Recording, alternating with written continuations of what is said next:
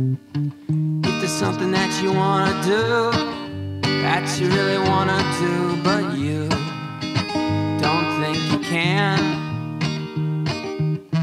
Maybe it's not such a good plan to quit before you even give yourself a chance. There's a life you wanna live that's impossible to live, and sometimes you think you'd rather kill yourself the shitty lie you tell and keep hoping someday you can believe. Well, listen to me.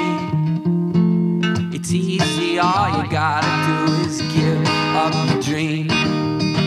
The only way to get through hell is there's no way to get through hell, but that's actually the way you get through hell is by knowing there's no way to get through hell. But if you try to, you wanna kill yourself. And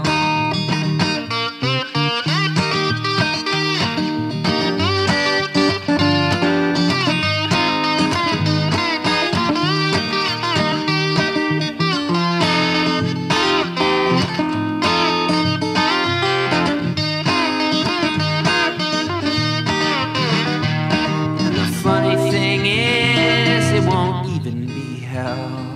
Just makes it a hell that you want it to be, so it can never be. So really, all this misery's your own stupid fault. Stupid. The only way to get through hell is there's no way to get through hell. That's actually the way you get through hell is by knowing there's no way to get through hell. But if you try to, you wanna kill yourself.